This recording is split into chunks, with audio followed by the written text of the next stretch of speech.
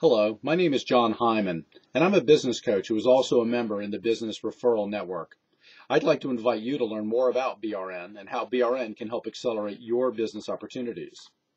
You probably know the impact a proper networking process can have on your business. Participation in BRN is like steroids for networking. So why aren't we working together in this fast growing Hunterdon County based organization? After all, it doesn't cost you anything to attend as a guest except a small amount of your time. And I assure you that it will exceed any previous experience that you may have had with a facilitated networking organization.